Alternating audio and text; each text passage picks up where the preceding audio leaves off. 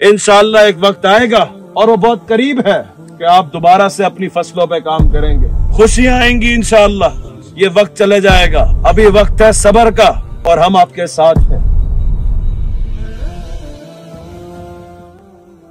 अल्लाह ताला इंसान को आजमाता है किसी को देकर आजमाता है किसी से लेकर आजमाता है। इस बात में कोई शक नहीं है कि आप लोगों पे बड़ी आफ, बड़ी आफत आई।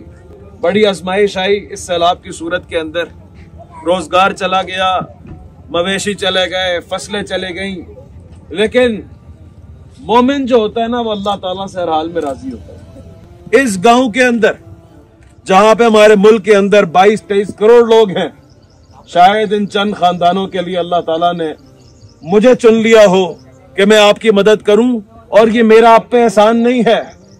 ये सिर्फ़ अल्लाह का हम पर एहसान है कि अल्लाह ने हमसे काम लिया और अल्लाह ताला ने आपकी तोहीद की बदौलत। अल्लाह ताला ने आपके ऊपर ये एहसान किया। अल्लाह ताला इस बंजर ज़मीन को दोबारा ज़िंदा कर सकता है। इनशाला एक वक्त आएगा और वो बहुत करीब है कि आप दोबारा से अपनी फ़सलों पर काम करेंगे। दोबारा से आपके रिस्क में फरावानी होगी, खुशहाली होगी, खुशियाँ आएँगी इंशाला ये वक्त चले जाएगा। अभी वक्त है सबर का। और हम आपके साथ हैं। जितनी मैं कोशिश कर सकता हूँ इनशाला मेरी पूरी टीम शेख आतिफ की पूरी टीम आपके साथ है अलमदरार की।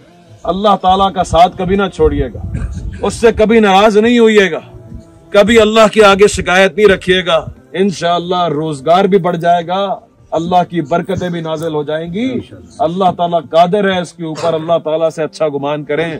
अगर तोहीद पे ज़िंदगी गुजारेंगे शायद कि थोड़ी आजमाइशें आ जाएँ। लेकिन इनशाला आखिरत अल्लाह ताला बड़ी देगा। वो दुनिया में भी देने पर राज़ी है, कादिर है और आखिरत भी देने पर राज़ी और कादिर है।